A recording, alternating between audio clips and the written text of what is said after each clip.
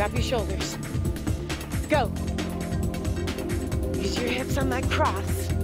So we're working on speed and power. Speed and power. Endurance, strength, power. Switch. Go.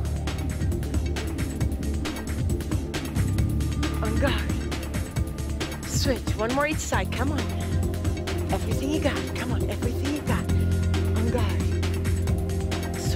The last one. On guard. Switch. Okay. Shake out your arms a little bit. Bring your feet back together. In your ready position. We're to go on. Now bring your hands back on guard. This time you're to step back with your right foot.